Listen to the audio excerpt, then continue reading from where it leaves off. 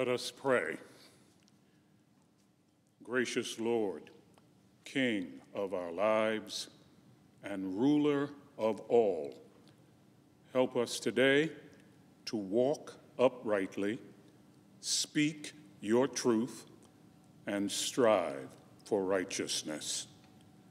Turn the members of this body back to the truth that those who would be great must be willing to serve humanity, and that those who lose their lives for a worthy cause will find life everlasting. Lord, make our lawmakers this day receptive to your wisdom, even amid the sometimes contention and collision of debate. Help them to shine with your peace and goodwill.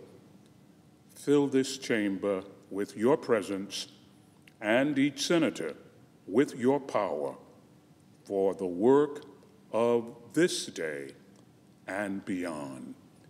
We pray in your righteous name. Amen. Amen.